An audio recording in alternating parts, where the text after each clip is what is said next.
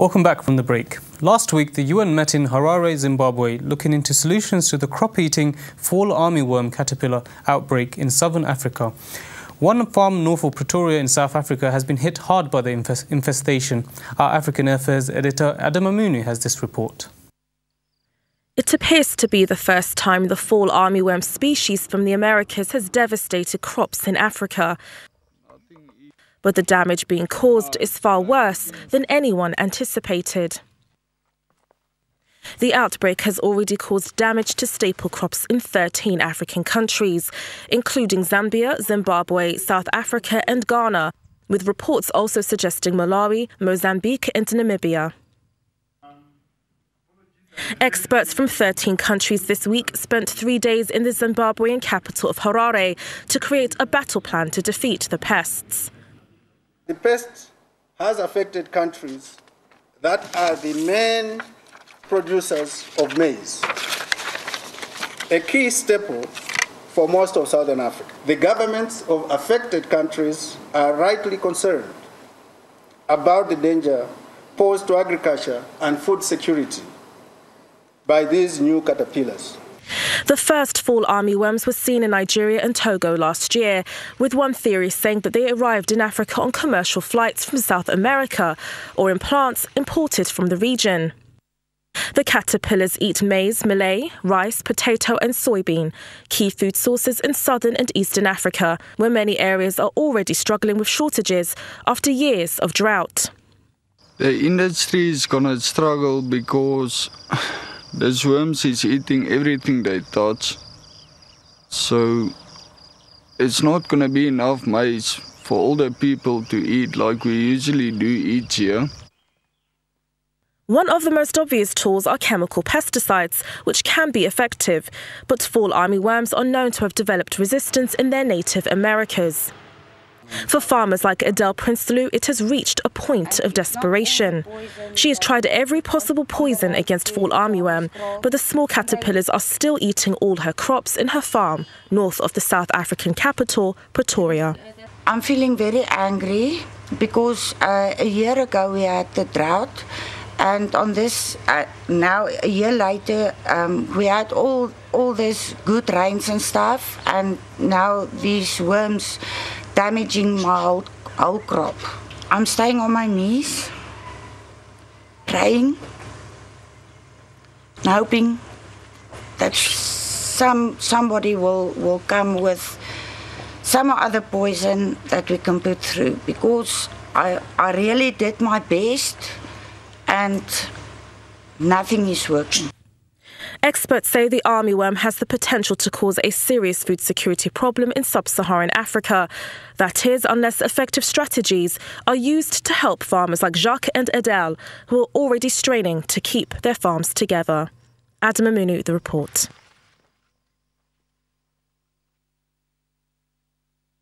Well, joining us to discuss this is Professor Ken Wilson from Lancaster University, who has spent two decades working in Africa studying aspects of insect crop pest control and especially the use of parasites. Uh, thank you, uh, Professor Wilson, for joining us. Um, firstly, uh, does this come at a bad time, especially uh, with the outbreak of famines in four countries uh, in Africa and um, also, of course, two years of record, record droughts uh, in the continent? Yes, of course. Um with the droughts, that's obviously uh, limited food production in the region. Uh, now with the rains, unfortunately with the rains also brings with it um, uh, pests um, like the fall armyworm that we see, plus the indigenous uh, African armyworm which uh, hit the region uh, two or three years ago. And in terms of, in, in the report, um, it, it, mentioned that causes of this um, of this caterpillar was from South uh, South America. Um, uh, do you agree with that? Yes, and before January 2016, the fall armyworm was recorded almost exclusively in the Americas, mainly in central and northern parts of South America. Uh, but from there, it also migrates into uh, North America, into the United States and Canada, and further south to, to Chile. So the fact that uh, it's now been recorded in uh, in Africa, um, it, it's very unusual, and it's most likely, as your report suggests, that it was imported from the Americas, uh, probably on uh, on plants. And um, uh, I'm aware you just came back from Zimbabwe um, from the UN talks. Um, what is the feeling there uh, from what you've experienced? Um, well, um, bit of bewilderment, to, to be honest. Um, although uh, the reports of outbreaks of fall armyworm in in uh, Nigeria and Togo and Benin and Sao, Sao Tome um, the previous year, um, I don't think there was an expectation that we'd see armyworms in southern Africa, uh, certainly not to the extent and so soon as they have been reported. So a lot of what we was discussing in the meeting was uh, exchanging of information to see what people uh, found uh, were, were working, what wasn't working, the scale of the problem, and try to look forward to thinking what can be done about this going forward. And, uh, and has there been any progress in terms of what needs to be done? Well, it's early days yet. Sorry, the, the main uh, purpose of the meeting was for information sharing and to draw up a, a battle plan. That will um, be taken forward over the next few uh, days, weeks, and months. Uh, it's it's going to be a long battle. It's going to be a hard battle. Um, there are some basic questions we, we still don't know the answers to, such as what's the best way to control these things, what's the best way to, to monitor them, um, and uh, what's the prospects for long term for the future of, of, food security in the region because of this new, new invasive pest.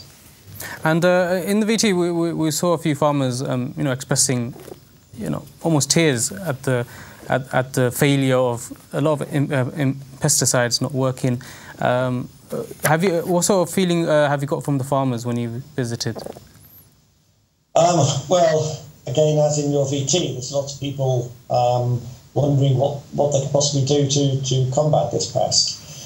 In its native range in the Americas, it's well known uh, that this species uh, developed resistance to the major um, pesticides, the pyrethroids. Um, we don't know precisely where these insects came from, so we don't know which pesticide it's resist, resistant to. So there's, there's, there's going to be a lot of trial and error to work out what pesticide works best. In the meantime, farmers that I've spoken to and heard from been using a range of different approaches, um, some with success and with, with big failures, really, um, using things like washing powder, um, uh, fertilizers, um, a whole range of different things. Some people might be aware of indigenous plants that may, they may be able to use, such as uh, Tephrosia, which I've heard has been successful in some cases. Um, neem may also be uh, uh, appropriate.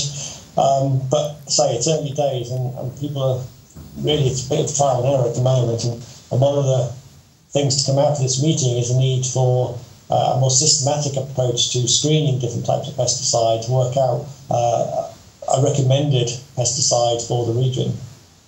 And uh, how, how can this uh, uh, outbreak potentially affect and not just the continent, but uh, you know the wider com wider community outside of outside of Africa? Uh, well, of course, Africa is the most pressing issue at the moment. Um, we need to determine how far it's going to spread within southern Africa. Uh, my feeling is that probably most of sub-Saharan Africa will eventually um, get this uh, fall armyworm, and, and if we don't come up with a, an approach for trying to sort it, then uh, that's obviously going to impact food security on the continent. Uh, that will have knock-on effects in terms of importing uh, foods from other parts of the world, and with those increased imports comes an increased threat of, of importing more more pest species. And then, of course, uh, once in Africa, um, it's these, these fall armyworm, they grow up to be moths, and those moths have very good flying ability. So it's very likely that from uh, from the northern parts of its range in Africa, it may well find itself into southern Europe. Um, if it's in southern Europe, it may well be able to uh, undertake um, continual reproduction and, and maintain itself there, and from there migrate on a seasonal basis into northern Europe in, into the UK and other parts of, of Northern Europe. And of course, then from Southern Europe into Eastern Europe and potentially into Asia. And in terms of uh, the fall army worm uh, itself, um, I believe um, uh, no crop is safe. Um, is that is that the case? Um, more or less, it's it's got a very wide host range. Um, the indigenous African army worm, which has been uh, in Africa for, for a very long time, that is restricted to, to cereal crops, principally maize. Uh, whereas this fall armyworm from the Americas has a very wide host range and, and eats most of the, uh, uh, the crops that are grown throughout sub-Saharan Africa. Um, the one exception appears to be, at the least at the moment, uh, cassava, uh, possibly because it's cyanogenic, so it produces cyanide poison in response to, to insects feeding on it. So cassava appears to be the, the moment the one staple crop that uh, may be resistant to armyworm. Uh, probably a stupid question, but do you think that could be a potential temporary solution for these farmers?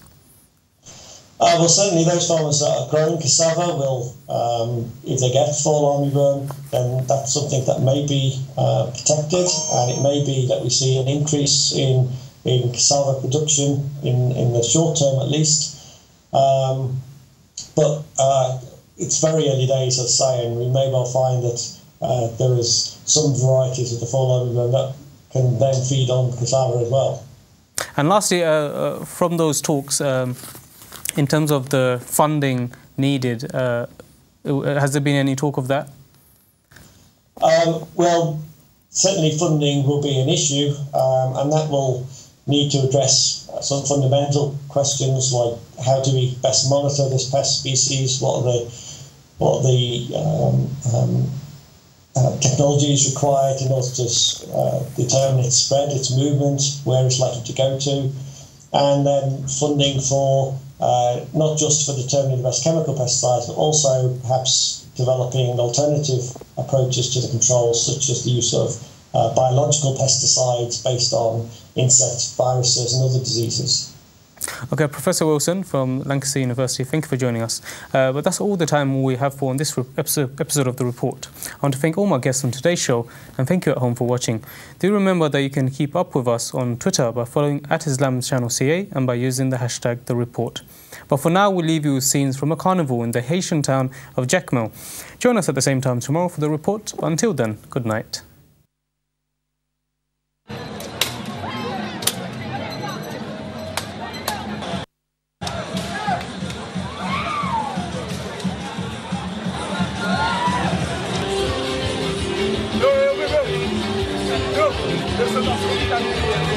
You.